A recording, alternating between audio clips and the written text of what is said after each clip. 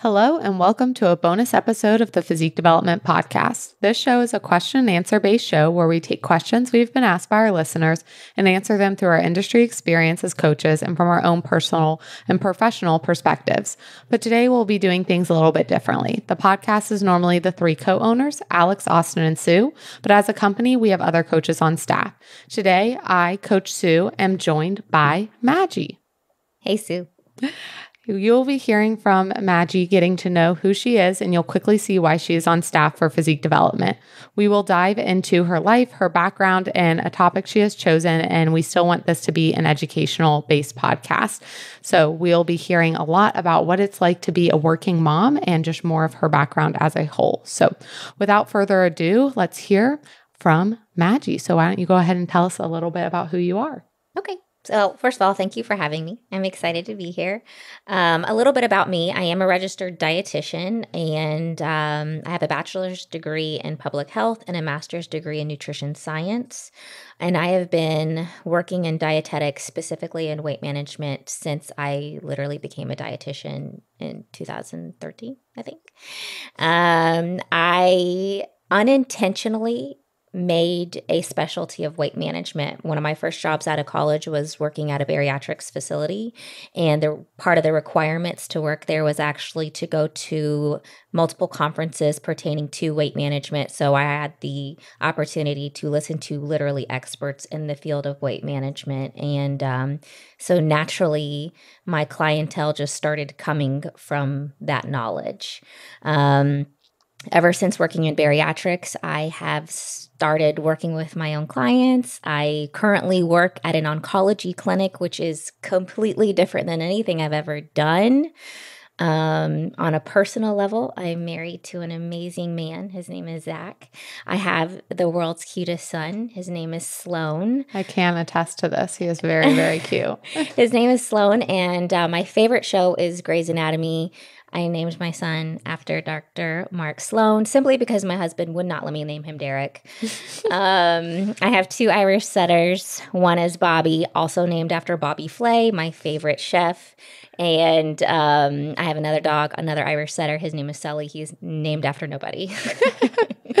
um, so, do you call Sloan, I mean, McSteamy sometimes? That's no. the real question. That's going to be his nickname later on. So we do watch Grey's though, and every now and then when Sloan's on the TV, I'm like, "Baby, that's you. that's your family." I absolutely love it. And then you also teach as well. Yes, I do. I teach um, nutrition and healthy lifestyles at the University of Louisville. So I definitely have my hands full, and that is why my specialty is helping working moms. But we'll dive into more why, I'm sure. Yes.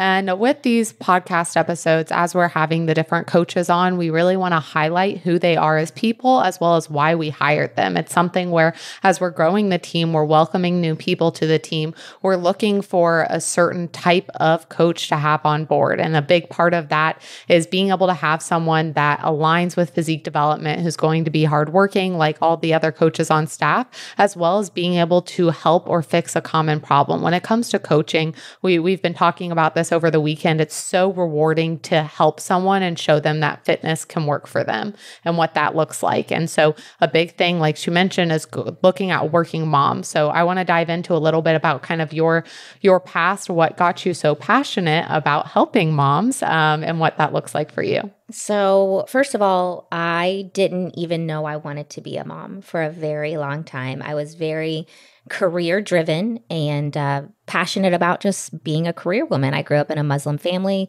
I can't speak for all Muslim families, but I can speak for my very traditional family. Women working is not a huge thing. My mom used to say I need to learn how to do housework and take care of my future husband. And I think I intentionally or unintentionally did the polar opposite of that. I am the world's worst homemaker. And, um, but I think my mom's pretty proud of me now, though. um, so I think with that, I became very driven in my career, and the thought of having children just didn't it just didn't jive with me for the longest time. Um, but I am a big person, a big believer in going with your gut. And just one day I was like, you know what? I think I want a kid. I think I want to have a baby. And my husband um, looked at me like, what? I, I never thought I'd heard hear you say that. So, um, anyways, prior to becoming a mom, I honestly, the struggles of being a parent and kind of what it's like to be a parent never occurred to me um, especially being a person who is a dietitian who's like loves health and fitness everything so um, when I became a mom, when I was ready to lose the baby weight, I remember really, really struggling with my huge life shift, right? All of a sudden, when you become a parent, your time freedom doesn't exist. You know, you're now living for another person. Um, you can't just get into your car and go to the gym. Right? You have an infant. You mm-hmm. can't bring them with you. Um, especially also now if you go to a gym that doesn't even offer childcare at the same time. So I remember my maternity leave was eight weeks. I remember thinking, I just want my pants to be able to fit, you know, when I go back to work, which my pants didn't fit. I wore maternity pants for like nine months postpartum. So I hope any mom who is listening who thinks they need to like snap back quickly realize like it's a struggle and it happens to the best of us as far as taking that time to feel like yourself again. Um, but I do remember when I was trying to lose that baby weight and just trying to figure out how to navigate motherhood while working, while incorporating something I love, which is fitness. I remember trying to look for resources of somebody who could help me, right? So even though I am a dietitian and I am extremely knowledgeable in nutrition, I wasn't knowledgeable in execution of being a mom who works like how do i do all this right? Mm-hmm. it's hard. And what i found was absolutely nothing. There were only resources for women for moms who were stay at home moms. Like literally every single resource whether it was a sleeping guide for your infant a uh, exercise guide um, any type of guide it was geared towards the stay-at-home mom. And i was like i know i am not the only working mom who is looking for this. And so um, that is where my specialty began because i knew there was a need. I knew that if i'm looking for this somebody else is looking for this yeah, a hundred percent. We were talking about this before we got onto the podcast. Of that was something I absolutely loved that she was talking about when we had our initial interview. When we were talking through kind of what her life looked like, what fell into her passion, why she wanted to be a personal trainer, why she wanted to help others, and I think that it's it's very easy for anyone to relate to the fact of being able to help something for yourself that you weren't able to find before as far as not knowing where that information was held or how that demographic of people went so long unhelped or uncared for in that realm. And I know for myself, when it became, when I became a personal trainer, it came from like this immense passion of no one taught me about food growing up. No one taught me how to eat. No one taught me the amounts I should eat. All that I ever heard was the food pyramid. So bread is what you should eat, but oils are bad, which how am I supposed to eat bread without butter? I don't know, or oil. Um, and then also learning that um, the average American diet is 2,000 calories. And that was all I knew all through elementary school, middle school, high school, into college until I got into a specified nutrition course and not out of a requirement to take a specialized nutrition course or learn anything about my body, but because I was interested in figuring out what was going on or how to feed myself. I went years without understanding how do I feed myself because I just feel lost constantly. And food is a big part of our culture as well as our day to day life. As much as we obviously don't want it to overcome our whole life, it is a big part of our life. And it became something that each time I sat down to eat, I was just so confused. And it just came from this passion of like, why has no one told me how to eat? And like, how many other people don't know how to eat?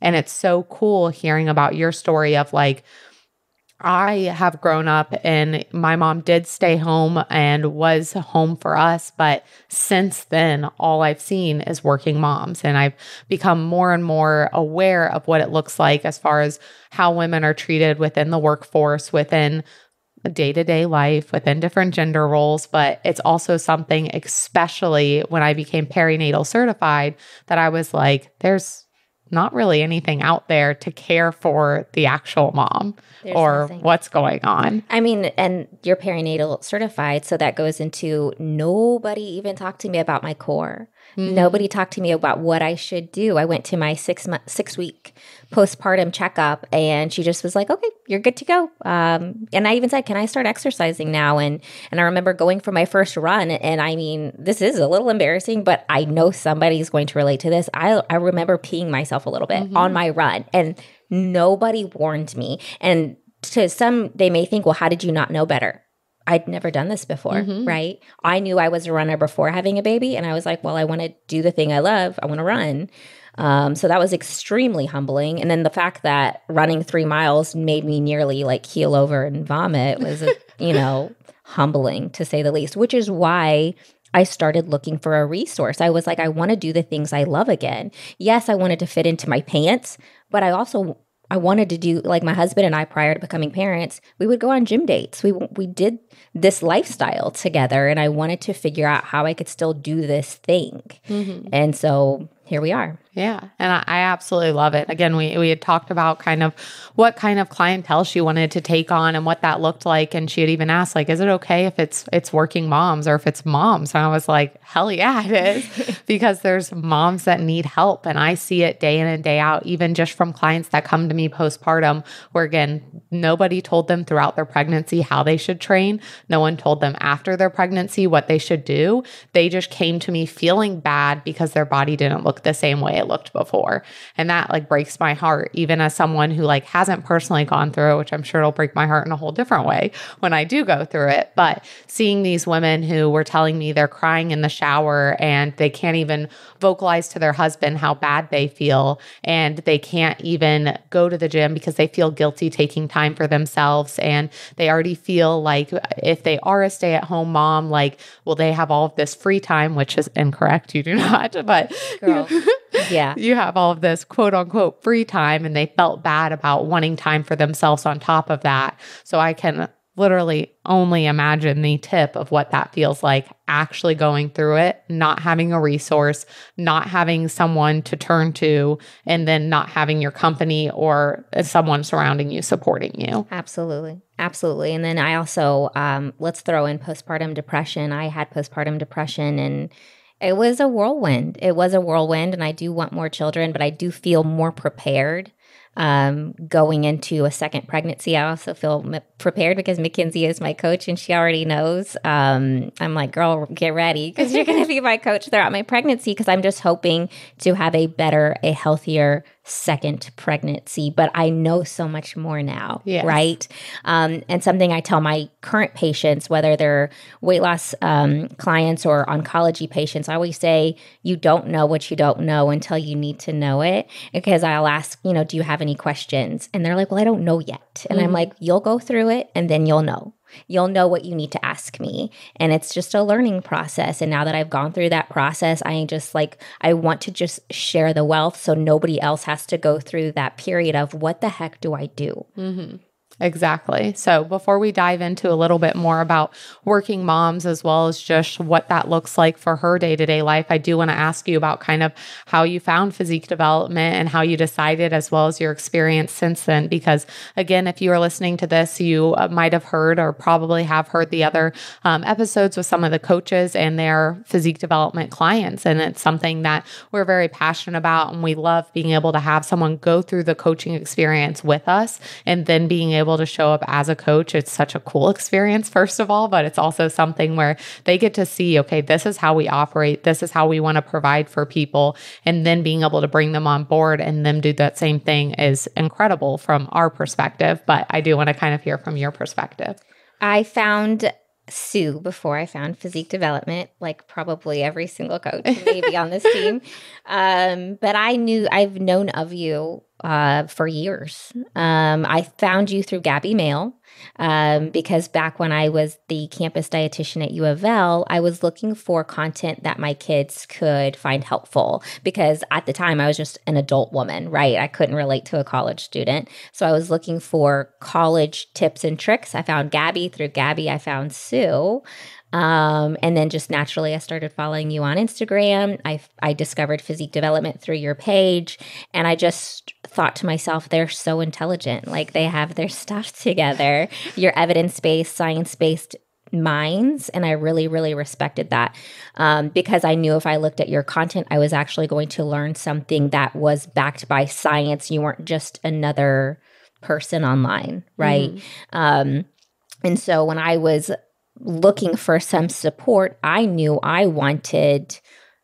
I, I, I told my husband, I was like, I wish I could find a me, right? Because again, even though I'm a dietitian, I can't hold myself accountable. It wasn't a lack of knowledge on my end, it was that accountability factor. Um, and I saw that physique development offered that evidence based approach with the accountability that I needed. So I just inquired like any other person and um and now it's just I'm so excited to be here. Yes, and we are so freaking excited to have her on board. Um so I do want to dive into a little bit more about her life, what that looks like for working with working moms. Um not only for this to have an educational piece talking about what it looks like to be a mom and being able to give some tips and tricks possibly, but then also for you guys to get to know her a little bit more. I mean, she is a phenomenal human being. And it's been so great getting to know her more and more, um, learning new things about her. I mean, I had recently learned that she had followed me from all the way back in college, which I say all the way, it seems like forever ago. But It is not forever ago, but um, it, it's it's cool learning more about her, learning more about her life, getting to meet her family, um, and see how she truly fits in. And I just know that she is going to do so phenomenal as a physique development coach. And so I do want her to touch on her, her expertise and being able to talk on what that looks like for her ideal client and all the people that she is going to help. So um, I became a dietitian. I decided I wanted to be a dietitian when I was 18. Uh, my mom had a heart attack and um, that changed my life literally it changed my life because it changed my it chose my career for me i actually thought i was going to be a health teacher um, and then i realized after she had her heart attack um, I wanted to be able to help people a little bit more specifically because I, I physically witnessed my mom get help, right? I saw doctors and pharmacists and dietitians help my mom and just help her do a complete 180 with her health. Um, when my mom had a heart attack, it was also discovered that her blood sugar was in the 400s, which is extremely high. So she discovered she was a type 2 diabetic. Um, prior to her heart attack and her uh, diabetes diagnosis, um, my mom noticed she was just losing weight so rapidly without trying. She kept getting new pairs of glasses over and over again, which now I know, and you're nodding because I know you know. um, that was those are signs of diabetes. Those are signs that she's actually urinating um, sugar, right? Mm-hmm. Because her blood sugar was so high, and unintentionally losing weight when your blood sugar is so high is because she's not able to absorb that food she's eating, right? So, um, it all just happened. Now and now when i look back in that my life i mean none of us knew right? You saying you knew nothing about what to feed your body is so relatable because we didn't know either. Mm-hmm. and i also want to say coming from a, a, middle eastern family most people think oh i thought middle eastern people eat so healthy. Well we do but we also eat large quantities of rice and pita bread. Mm-hmm. my mom makes the best homemade pita bread and when you use pita bread as a utensil for every meal, that's a great way to get diabetes. so um, I went to the University of Louisville. I was in college at the time. U of L did not offer dietetics, so I just went ahead, finished my bachelor's degree. But I just I found the nearest school that offered dietetics that I could still still get in-state tuition for. We lived in Southern Indiana, so I was like, I guess I'll be going to IU. Um, I looked up what I needed to do to become a dietitian, and I that's that's exactly what I did. I told you yesterday when I have a plan, I become laser focused, and that is what I do. I execute. And um, so that's how it all started. Um, and then from there, I've just unintentionally become a specialist in weight management. And a large portion of my personal clients are weight management only. Um, now that I've really honed in on my specialty, I predominantly help moms, and it's got to be the most fulfilling thing I've ever done. Um, because I love helping moms feel extremely confident. I love helping moms learn that it's absolutely okay to be selfish. I always say being selfish is not a bad thing. Um, the word selfish is not a bad word. I always say because you can't pour from an empty cup. You're going to actually be able to give so much more if you take care of yourself. And so, a lot of times, I'm giving actual nutrition education, but I'm giving them those affirmations that they need to know that it's absolutely okay to do you. Um, and that's just it's, it's extremely fulfilling. Now, I also mentioned I work at an oncology clinic, right? Um, so, yes, I do work in cancer. Never thought I would work in cancer, but I do. And um, it was unintentional how it happened, but it happened. And I, I, that's also been an eye opening experience as well because I feel like I've learned the value of life by working with my oncology client or patients, I should say. Um, because out of all of the people I've ever worked with, they have got to be the most grateful, the most appreciative group of people. They want to do everything they can to fight their disease. I tell them to drink, you know, green juice for a month, they will. Nobody, I've never said that, but but that's just if you were. but that's their motivation because they want to live. Whereas, and maybe you can relate to this, I'm not sure, but sometimes when I have weight management clients, they're kind of they complain a little bit more. Like, mm-hmm. are you kidding me? I have to do this, and you know what I mean? Or like, I really don't like water. Whereas my cancer patients are like, I'll do whatever you tell me to do. But they also have the best attitudes because I think they realize now like how short life is. Mm-hmm. I've had like my my oncology patients actually make me smile more than anything else. So um yeah, that's a little bit yeah. about that. I absolutely love that. And I think that that is something, I mean, to touch on here is when it comes to your health, as you can hopefully tell, we both have a huge passion for health. And I've had countless conversations with Alex, with Austin, with multiple other people on staff, and then just basically anyone who will let me talk about it as far as what it means to value your health. When it comes down to it, I mean, um, you might be listening to this and you might be a competitor or a potential competitor, or you just want to feel a little bit better, fit into your jeans, or whatever it may be. But at the end of the day, what matters is your health because that's literally all you have. And if you are not listening to your wellness, you're going to have to listen to your illness and you are going to have to answer that door. And as someone who has seen people in excessive illness and not have their health, it's about one of the saddest things that you can see. And all they want in that moment is help. Is help. Yeah. Yeah. And that's what I want every day of my life. So I don't get to that point yeah. and I'm like, where's my health at? Because that's all you have at the end of the day. 100%. I just, my patients have been so eye opening for me. I had a patient with breast cancer and, um, she hadn't she had an appetite but her ability to taste was gone because of her chemotherapy.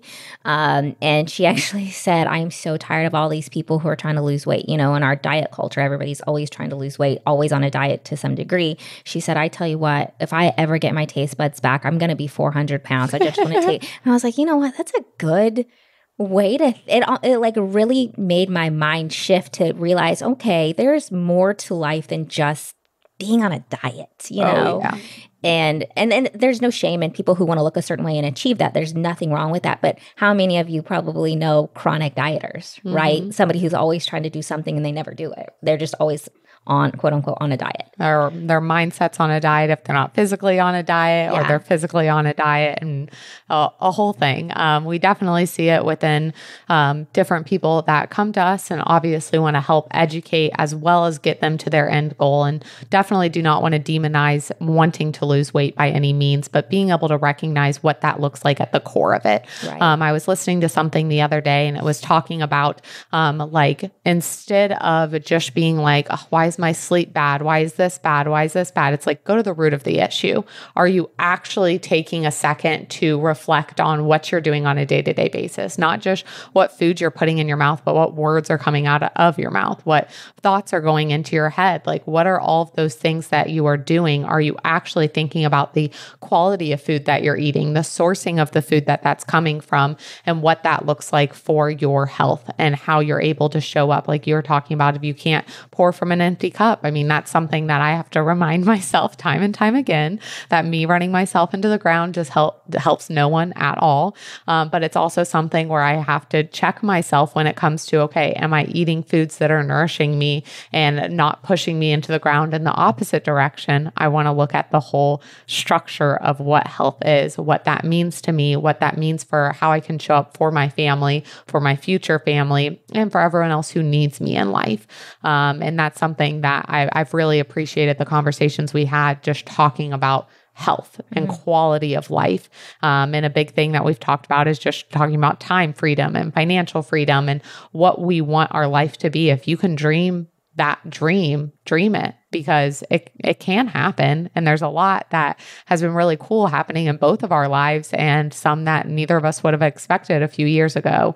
Um, but it all comes from being able to be intentional within a day, being passionate about what we're doing, and then showing up for ourselves and our loved ones.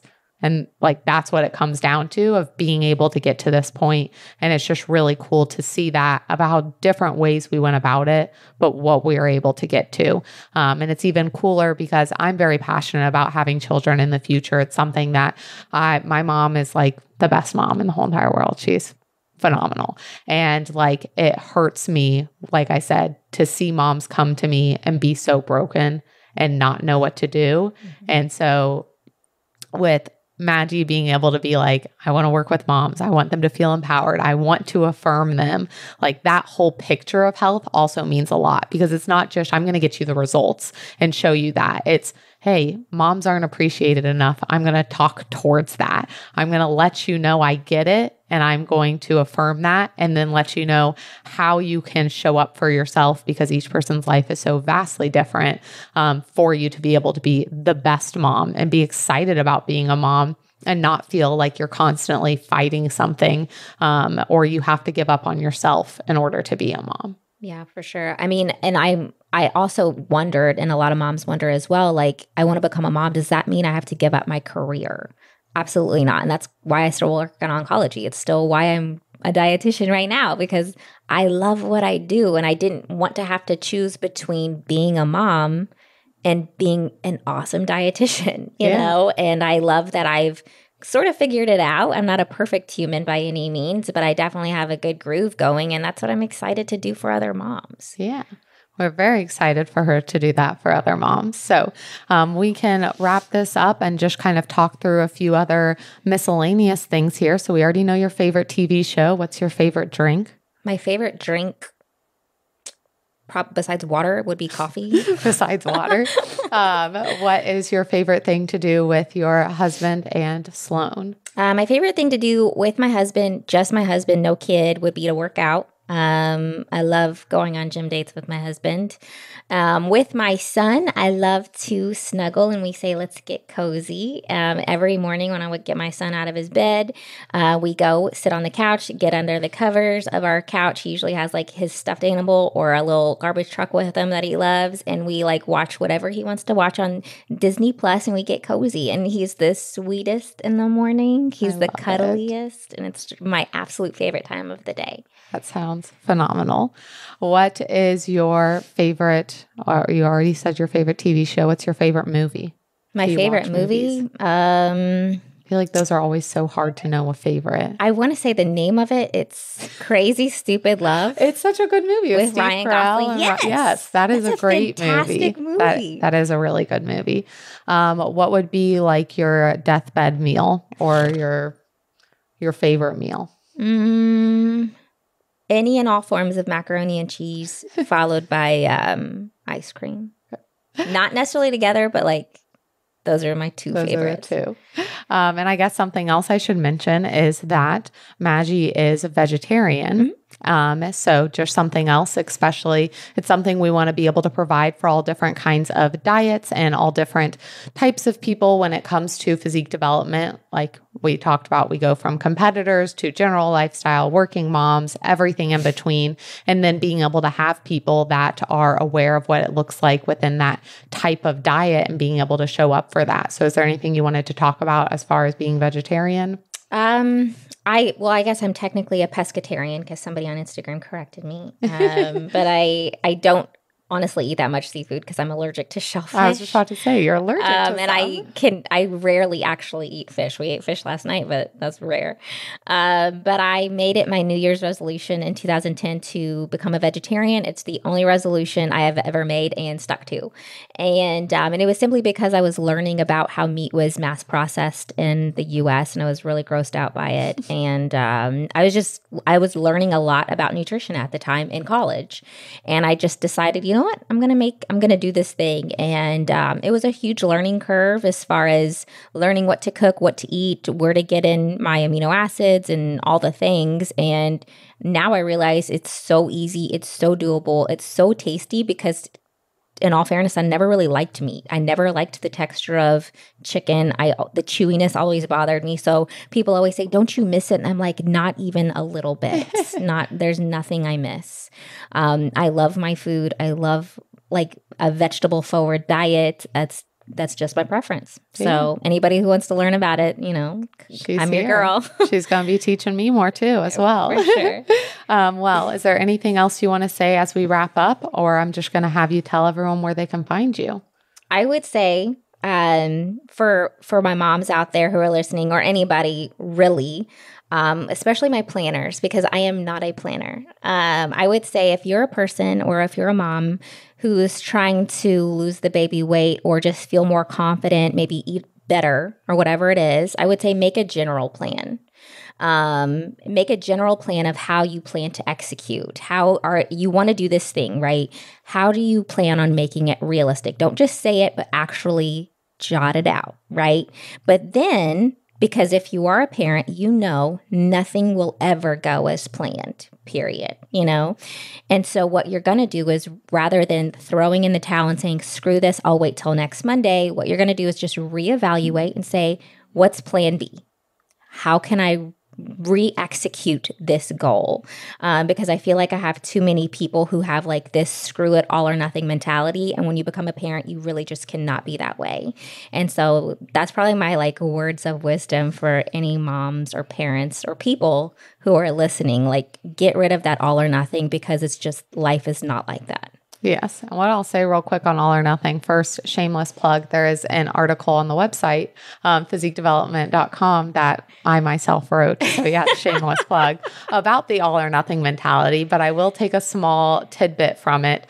Um, the best way I ever learned to look at the all or nothing mentality is picture you're driving in a car, in your car, a car, whatever you want to be driving in, and you get a flat tire. You don't get out of your car and you're like, well, that one's flat. Let me flatten the rest of them. If I have to get one new tire, let me get four more. No one would ever do that. That would be the most expensive decision that you made do not do that. if you were thinking about doing it, don't do it. Um, but it's the same concept within food. Let's say you eat uh, something off plan, or you eat something, or you overeat. A lot of times I hear, like, oh, why does it matter? Like, screw it, let's go the other direction. But it doesn't need to be that. You're always one decision, one food choice, one something away from being back on track. And so instead of thinking I need to slash the tires, it's just let me reevaluate and keep going. It doesn't need to be the end of the world. I've screwed up. Everything sucks. I suck. It's okay. I got a flat tire. It's okay. We're going to fix the tire and we're going to keep going um, and not feel like we have to slash every other tire. So, that was a really good shameless plug. Thank you. uh, I'm pretty smooth with them sometimes, but I'll do another shameless plug. So we'll go ahead and have you tell them where you can they can find you on Instagram? Um, my Instagram name is Working Mom Nutrition, but I'm also going to be on the Physique Development Instagram page as well. Yes, you'll be able to find her from the link in the Physique Development bio, and you'll be able to inquire and select her as your coach. You'll also be able to do it from the Physique Development website as well. And then if you do want to reach out to her to see if they would be a good match, you can go ahead and say your email address. Maji at physiquedevelopment.com. Perfect. So that is where you can find her. We are very, very excited to have her on staff and just to be able to help all the moms, all the people, and keep changing the world. So thank you so much for being on the podcast and we'll see you next time. I you. never know how to sign them off. I just end them. It's perfect. End them like this. So thank you.